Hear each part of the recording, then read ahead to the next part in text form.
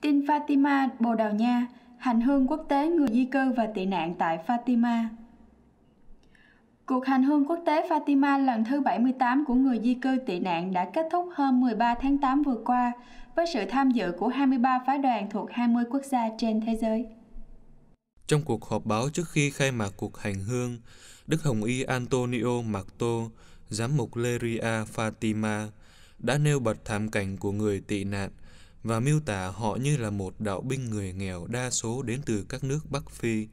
Từ bao thập niên, họ đã bị Tây Phương khai thác và ăn cướp tài nguyên.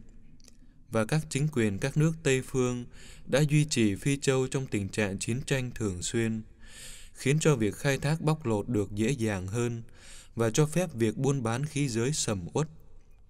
Cuộc hành hương quốc tế Fatima của người di cư tị nạn đã bắt đầu từ ngày 13 tháng 8 năm 1940 và có một truyền thống dài về tình liên đới và sự thánh thiện.